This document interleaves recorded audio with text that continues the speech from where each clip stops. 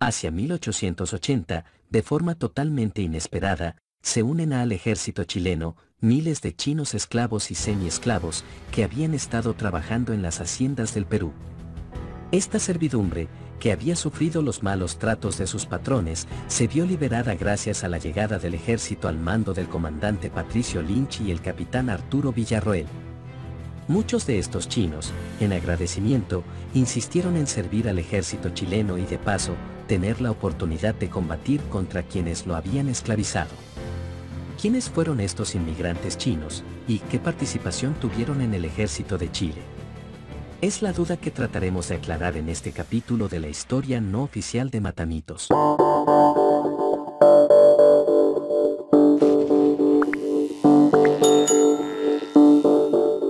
Durante el decidido avance del ejército chileno hacia Lima, los generales se toparon con un factor que no estaba dentro de sus planes. A medida que penetraban territorio peruano, se encontraron con grupos de chinos en estado de esclavitud, que agradecieron profundamente su llegada, ya que fueron liberados sin condiciones algunas. Estos eran chinos llamados culíes, que era una forma despectiva de nombrarlos ya que estaban en la parte más baja de la escala social se habían conjugado en contra de ellos una historia de abusos y engaños, desde que se inició el tráfico apoyado por el gobierno en 1849 y hasta el comienzo de la guerra.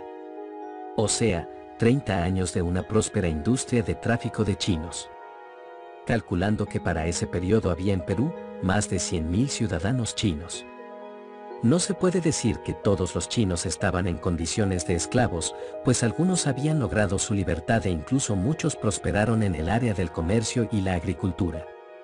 En Lima había una comunidad de chinos de alto poder adquisitivo, que incluso ayudó al gobierno peruano en los gastos de la guerra. En este punto hay que ser cuidadosos, eran unos pocos ciudadanos acaudalados que necesitaban tener el apoyo del gobierno para subsistir y mantener sus privilegios. Pero irónicamente, como veremos más adelante, muchos de estos comerciantes sufrieron la furia del propio ejército peruano cuando retrocedieron a desbanda por la inminente toma de la ciudad de Lima por parte del ejército chileno. Pero la triste realidad mostraba que la gran mayoría de los chinos realizaban trabajos forzados en estado de esclavitud, en especial en las haciendas, minas y guaneras. Estrategia de guerra chilena. Durante el conflicto, uno de los objetivos de Chile era terminar la guerra lo antes posible. Para ello había que acabar con los ingresos peruanos provenientes de las exportaciones, para impedir que se rearmara por falta de finanzas, pero también para acabar con la voluntad de continuar la guerra a causa de las penurias económicas en la población. La consecuencia fue la paralización de las exportaciones peruanas de guano y caña de azúcar, en las que los chinos culís formaban una fuerza laboral importante. El gobierno chileno, entonces organizó una expedición con el objetivo de hostilizar el ejército peruano, que era lo único que sostenía al gobierno del presidente Nicolás de Pierola y obligarlo a que aceptara las condiciones de paz impuestas por Chile. Un nuevo aliado, los chinos. El 10 de septiembre de 1880, el capitán Lynch, con una compañía de infantería, se interna en la hacienda azucarera llamada Palo Seco. El dueño de la hacienda, don Dionisio Derteano, se le impuso un impuesto de guerra que rehusó pagar. Ante su firme negativa, el comandante Lynch mandó a destruir la hacienda. Los soldados chilenos fueron recorriendo una a una las barracas encontrando en una de ellas a más de 300 chinos encerrados. Los que finalmente fueron liberados. Este fue el comienzo de la liberación masiva de los chinos esclavizados. Este fenómeno se fue repitiendo en diferentes lugares de acuerdo al avance del ejército chileno. Los soldados chilenos con frecuencia les regalaban comida y los culíes se negaban a abandonar a quienes consideraban sus salvadores y los seguían lealmente hasta el campo de batalla. Como indican algunos antecedentes históricos, los culíes lograron adaptarse rápidamente a las tropas chilenas e incluso una gran cantidad de soldados utilizaron los grandes sombreros chinos hechos de caña, con la finalidad de encontrar sombra ante la inclemencia del sol del desierto y, por parte de los chinos, también comenzaron a usar ropa de los soldados chilenos de forma no oficial, hasta que fueron aceptados formalmente por la comandancia. Patricio Lynch y Arturo Villarroel. En general, cuando se habla de la liberación de los chinos culíes, hay un protagonista que sobresale por sus diversas cualidades y que fue un nexo de admiración para los chinos y su apoyo a la causa chilena. Es sin dudas el capitán de navío Patricio Lynch, ya que gracias a su experiencia en la Armada inglesa y su sobresaliente actuación en la Guerra del Opio, llevada en China, aprendió el cantonés que utilizó para hablar y arengar en su propio idioma a los chinos que liberó. Esto provocó una profunda admiración de los culíes, que vieron en él a su liberador y protector. Pero otro personaje igual o más sorprendente que Lynch, fue el capitán Arturo Villaroel que, por cosas del destino, también dominaba el cantonés, ya que desde muy joven había viajado a varios países. A los 13 años participa en una batalla naval en Ecuador, que le costó perder dos dedos de la mano derecha, más adelante viaja a China, en donde trabaja en las minas de Manchuria, aprendiendo también el idioma. Y a otros tantos países, dominando también el inglés. Se especializa en explosivos y de ahí que recibe el nombre de Capitán Dinamita.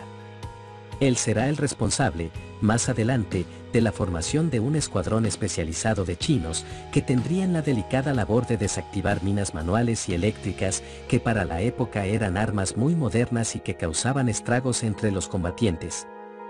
Fue el personaje chileno más popular, querido y mediático de la Guerra del Pacífico, mucho más que Baquedano y Lynch. Tal era su popularidad que era muy requerido por los corresponsales de guerra de todo el mundo, cuando llegó de vuelta a Santiago, toda la ciudad salió a las calles a recibirlo. Curiosamente, hoy en Chile, es un personaje prácticamente desconocido. El ritual chino ante el dios de la guerra.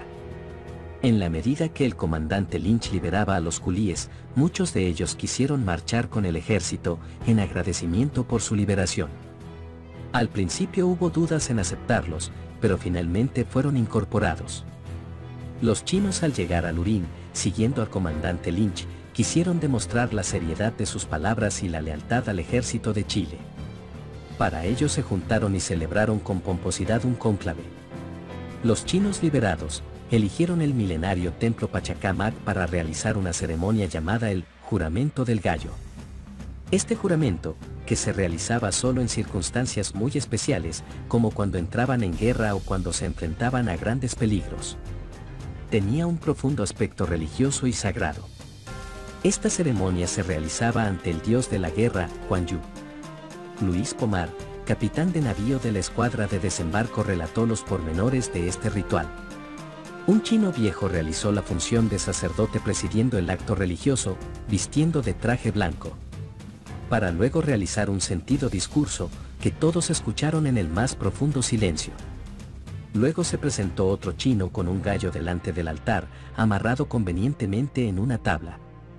El sacerdote lo puso en el altar y luego lo degolló, recibiendo la sangre en una palangana, para luego beber su sangre, prometiendo ultimar al que traicione y beber su sangre de la misma manera que al gallo, por lo que todos quedaron obligados a cumplir su juramento de lealtad. Y ahí, por la sangre del gallo, se juró unirse bajo la dirección de su nuevo líder Liu Tang Xin Xin, más conocido como Quintín Quintana. Este curioso personaje fue un agricultor chino avecindado en Ica y de muy buena situación económica, el cual ofreció sus servicios al general en jefe de brigada del ejército chileno, comandante Patricio Lynch, porque solidarizaba con el sufrimiento de su pueblo. Prometiéndole obedecerle del modo que, si ordena trabajar, trabajar, si matar, matar, si incendiar, incendiar, si morir, morir. Esto según lo escrito en su juramento. Desde las ruinas del templo de Pachacamac, pasaron todos en procesión a ver al general en jefe Manuel Baquedano. Como nuevo líder, habló Quintín Quintana, que vestía un traje militar extraño y entre otras frases dijo, he vivido durante 20 años en el Perú, he conseguido aquí, por medio de mi trabajo, es cierto, los medios de vivir, los caballeros se han portado bien conmigo y mi familia, no tengo ningún odio personal, pero me lleva a sacrificar mi fortuna y a hacer lo que hago por estos infelices, mis compatriotas, cuyos sufrimientos nadie podría imaginar. Hay aquí hermanos que durante años han estado cargados de cadenas sin ver el sol, y los demás han trabajado como burros. No quiero para ellos nada más que comida y la seguridad que no sean abandonados en esta tierra maldita. Que el jefe los lleve donde estime conveniente.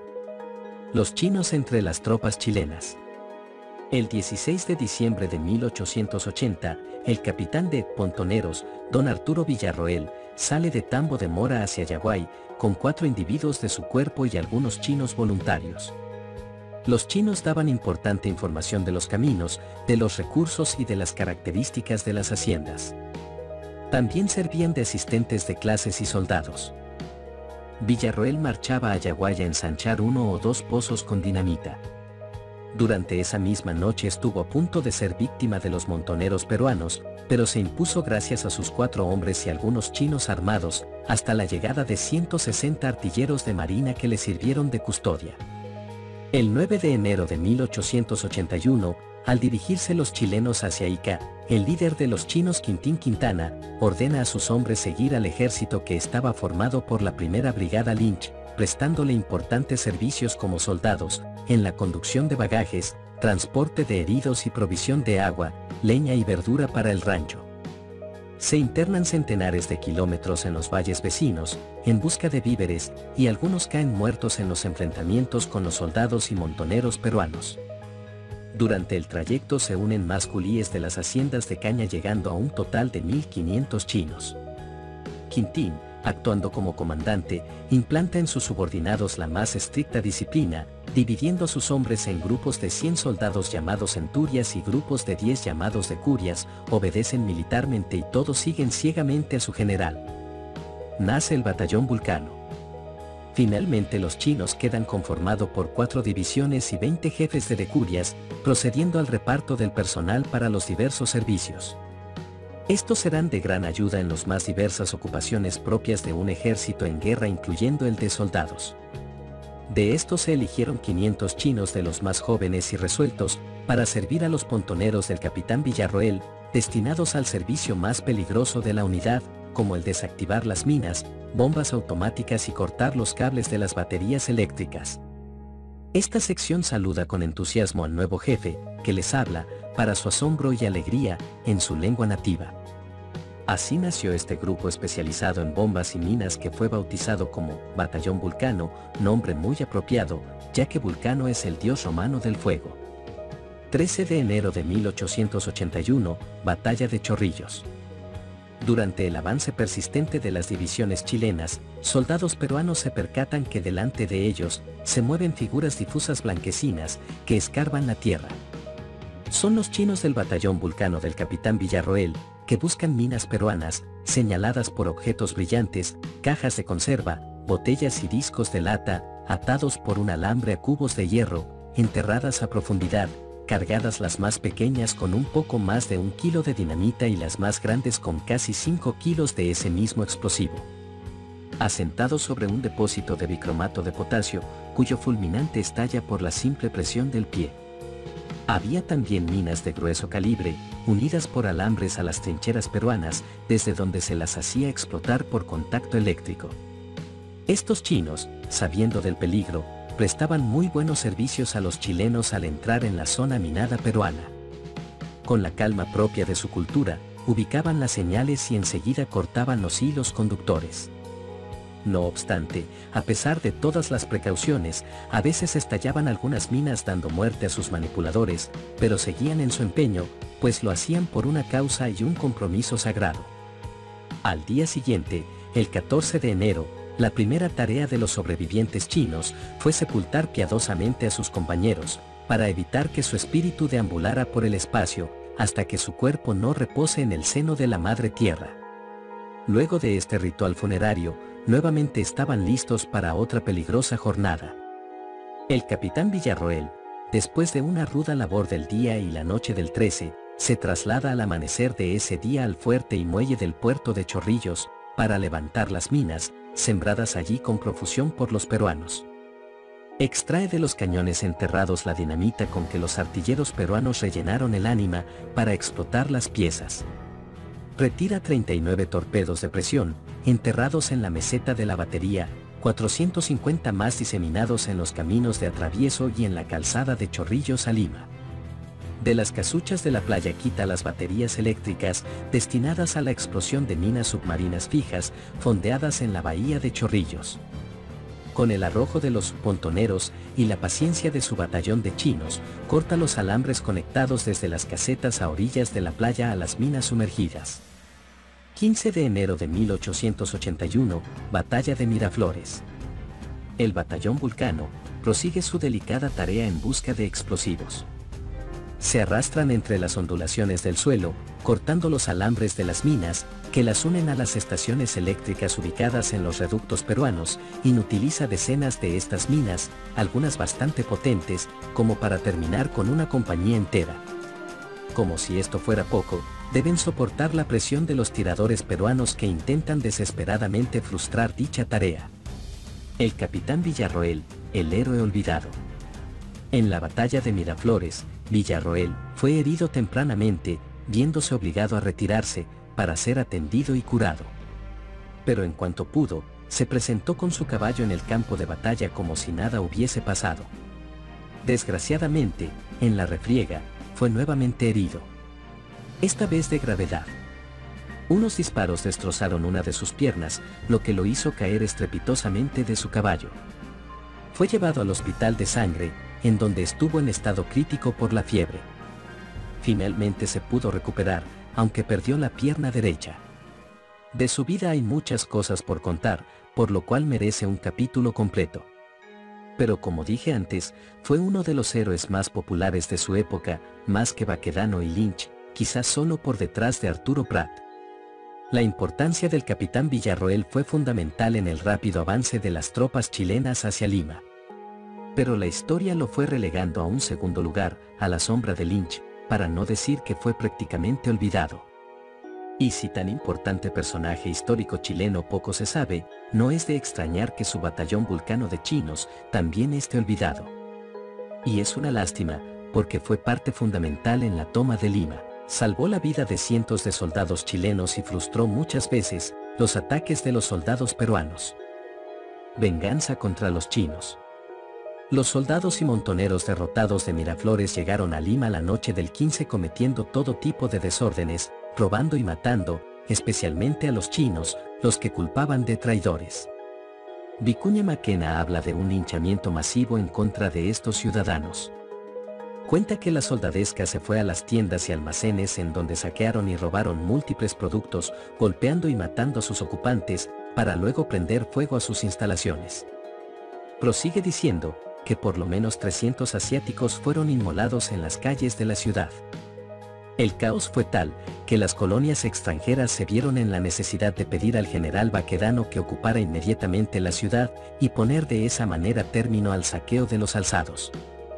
De esta forma, una parte del ejército chileno entró a Lima el 17 de enero y tomó posesión de los fuertes Santa Catalina y San Cristóbal. Ascensión de Lynch. El 19 de enero de 1881, Patricio Lynch fue nombrado jefe político y militar de El Callao y ascendido a contraalmirante. El 4 de mayo de 1881, asumió como comandante en jefe de ejército de ocupación, quedando a cargo de la ciudad de Lima. Reorganizó la ciudad, creando un sistema de gobierno que permitió que Lima se recuperara del caos anterior, trayendo la tranquilidad a sus ciudadanos y extranjeros que la habitaban los chinos después de la guerra. Al finalizar la guerra, algunos chinos siguieron sirviendo al ejército, otros se quedaron en Perú y otros tantos se fueron a vivir al norte de Chile.